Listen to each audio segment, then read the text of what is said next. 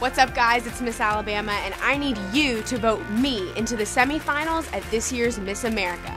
Just post using this on your Facebook and Twitter pages. It only takes a few seconds, and voting ends September 10th, so vote today.